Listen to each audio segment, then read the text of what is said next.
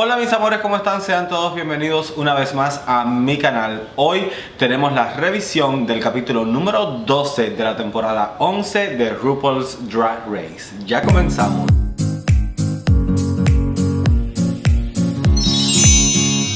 Yo no sé si a ustedes les sucede igual, pero a mí es como que este capítulo en cada temporada se me hace muy aburrido.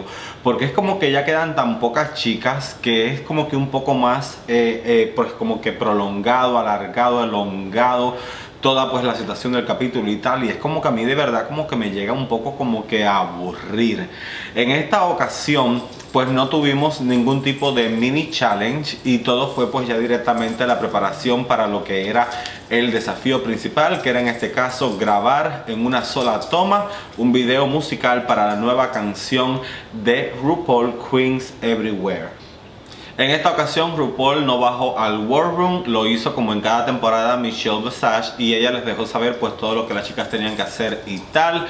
Luego pues entonces comenzaron a grabar sus versos para el tema musical que lo hicieron con quien es de hecho el productor de esta canción de RuPaul. También estuvieron pues contando con la asesoría de Tawdry Hall para la grabación de las letras. A mí me pareció que todas lo hicieron bastante bien. No creo de que nadie se haya quedado por debajo desde el punto de vista de lo que fue la grabación al mismo tiempo mientras unas grababan pues otras estaban siendo partícipes del el podcast de RuPaul y Michelle Wassetti que es un podcast real. Lo pueden escuchar en las más diversas plataformas pero también en YouTube está disponible. Así que ya saben me sorprendió ver que en esta ocasión RuPaul estuvo haciendo el podcast en plan mujer, pero luego fue para darme cuenta de que la razón por lo que lo estaba haciendo es porque el segmento estaba siendo patrocinado por Facetune, así que al parecer ellos le dijeron tienes que estar en full drop porque si no nos vamos a pagar, en fin, ella estaba allí toda convertida. Fue interesante que las chicas compartieran pues momentos tanto de su vida personal como también de su estancia en la competencia en el podcast. También me gustó muchísimo ver cómo se estaban entregando en los versos para lo que era la grabación del tema. Una vez de que bueno pues ya el podcast terminó y también terminó la grabación del tema pues entonces fueron a ensayar coreografía. Debo decir que de verdad la canción está espectacular. Creo que es de las mejores que he escuchado de RuPaul. Está muy de nightclub está muy arriba está muy gozona muy para disfrutarla. Yo a pesar de que obviamente no pudimos disfrutar de las letras apenas sentí pues todo lo que era el beat todo lo que era pues como tal la canción o sea, sin letra, yo dije, wow, solamente por la forma en la que suena se ve que está espectacular y efectivamente pues prepararon la coreografía. Yo vi mucha seguridad por parte de Miss Benji. También vi mucha seguridad por parte de nuestra queridísima Brooklyn Heights. Pensé como que de Silk estaba un poquitico más abajo. También quizás influya un poco pues por la parte de lo que es el peso que a veces cuando uno está en cierto peso en cierta condición física a veces a uno lamentablemente se le dificulta poder entregar un poco más. Lo sé porque he pasado por eso y bueno, pues Ivy en lo que vimos estuvo bien, pero tampoco fue nada del otro mundo. Luego de todas estas escenas, pues entonces llega el momento finalmente de disfrutar este final desafío en el cual las chicas en una sola toma van a tener que hacer pues este video musical en vivo con la canción de Queens Everywhere. Me parece de que a Kyria, por ejemplo, que fue a la que le tocó romper con la canción, estuvo bien, pero como que al mismo tiempo un poco cómoda, se veía espectacular. Me gustó muchísimo de que su peluca fuera pues con la misma tela con la que estaba confeccionado el vestido pero la coreografía estuvo un poco suave no fue un poco no fue o sea como que intensa estuvo bastante safe.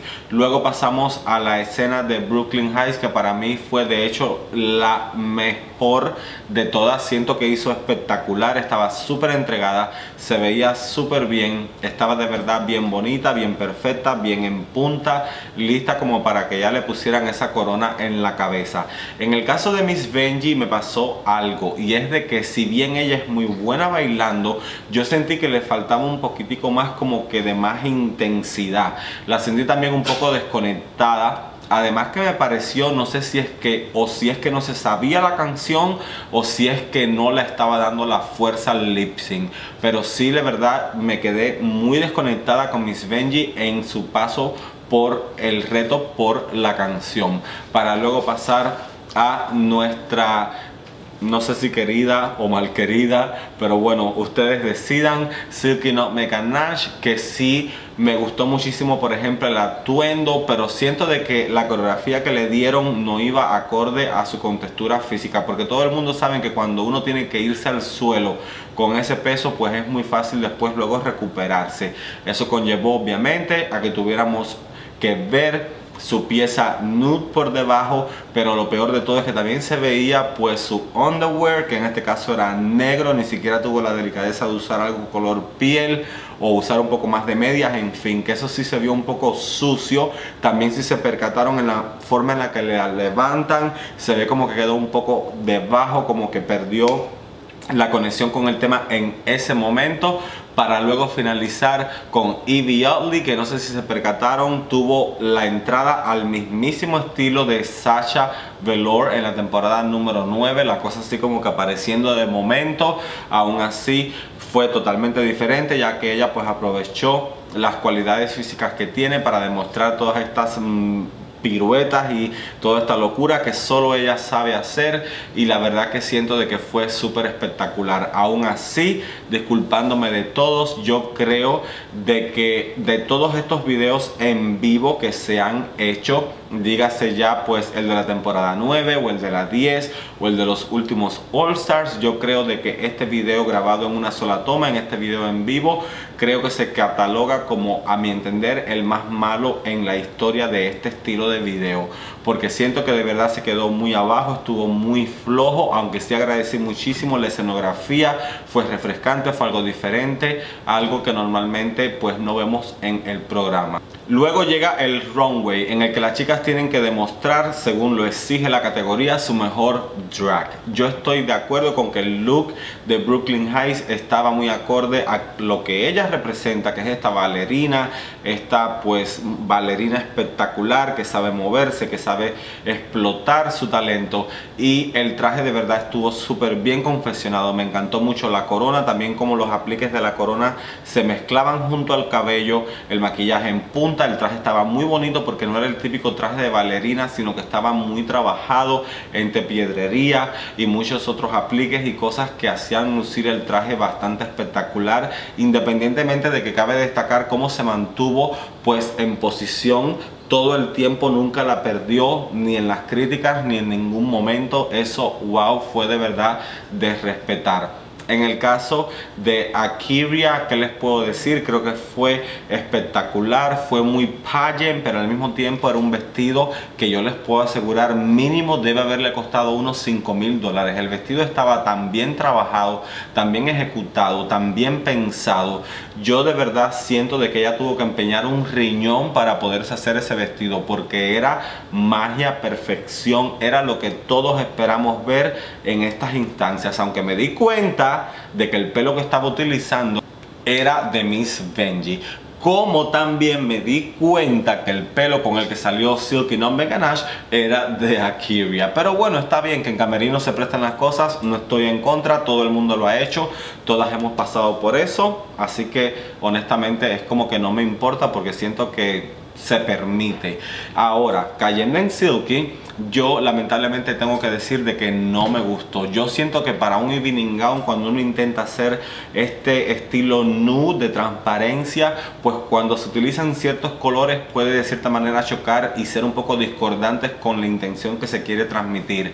Y ese rosado tirando a malva que ella utilizó en parte de la confesión del atuendo, siento como que me desconectaba totalmente de la elegancia del vestido. Las piedras no estaban repartidas uniformemente, había demasiado nu en lo que era la base del vestido, independientemente de que le quedaba mal, se le salían las piezas de la parte interna, de la capa interna del vestido, en la parte de atrás de la espalda. Además de que yo honestamente no vi que estaba haciendo algo diferente y que no estaba a la altura de lo que era tu mejor drag. Era de verdad un look que necesitaba ser trabajado un poco más. Cayendo ahora en Miss Benji siento la verdad pues el maquillaje era el mismo de cada semana. Me molestó muchísimo la confesión porque el vestido en primer lugar se le veía como que le quedaba largo. Tampoco me gustó la selección de color era literalmente una cortina. No me gustó para nada el vestido odié que se le viera el bodysuit por dentro que tenía que se vieran pues como que sobresalía en las esquinas todo el bodysuit en color negro y se veía como si fuera estilo un ajustador y luego el vestido por encima. Eso es algo tan sucio que la verdad siento que es algo que para nada, ni en las condiciones más difíciles, pues algo que es, algo que se deba hacer. Eso de verdad me desconectó totalmente del look, de la propuesta, al punto de que dije instantáneamente, ella tiene que estar en el bottom. En el caso de Evie Oddly, ¿qué les puedo decir? Era la perfección. Peluca, maquillaje, atuendo. Me gustó mucho de que se veía elegante, fina, de millones, pero al mismo tiempo no dejaba de ser Evie Oddly. Tenía esa ridiculez, tenía esa rareza súper sorprendida por el maquillaje con los tres ojos, tenía tres pechos, tenía tres dedos, o sea, mira, nunca Nunca yo había visto algo así y de verdad que me lo viví al punto de que si en esta ocasión en el capítulo hubiera habido una ganadora, siento de que la que de verdad se llevaba pues el mérito esta semana era Evie Lee. Luego de que los jueces deliberan, llegan a la conclusión de que es Miss Benji y Brooke quien tienen que ir al bottom para lograr llegar a ser el top 4 del año se salvan Silky, Evie y Akiria. Y aquí es donde comienza mi problema, porque no estuve para nada de acuerdo con la decisión. Yo no siento de que Brooklyn Heights merecía estar en el bottom. Ella hizo súper buen trabajo en el videoclip y también en la pasarela. Yo siento que lo que de verdad debió haber ocurrido es que fuera Miss Benji contra Silky porque la verdad siento de que las dos tuvieron pequeños accidentes y cosas que no les funcionaron a favor durante el videoclip y lo mismo me pasó con el runway en algunos detalles que tuvieron los atuendos, los vestidos, hubo cosas que no les funcionaron. Ellas dos eran las que tenían que haberse ido a ese bottom y luchar su pase al top 4 y a la gran final del reality. Pero como ustedes saben todo es un guion y yo sé de que la producción como estuvo pues toda la temporada empujando este show mains entre Brooklyn Heights y pues Miss Benji yo sabía de que había que llegar al momento en el que las teníamos que ver a las dos enfrentándose una a la otra. Yo siento de que Brooke estuvo totalmente salvada y era Silky quien debió haber pues luchado esa posición con Miss Benji. El lip sync siento que para el último capítulo de la temporada pues no fue de verdad una canción muy espectacular. Siento como que el sync estuvo de cierta manera como que flojo. Yo sentí de que no estuvo a la altura del momento que estábamos viviendo. Me gustó mucho Miss Benji, me gustó mucho Brooke. Las dos estuvieron como que muy parejas. Ninguna de las dos fue sorprendentemente buena. Tampoco ninguna de las dos fue exclusivamente mala.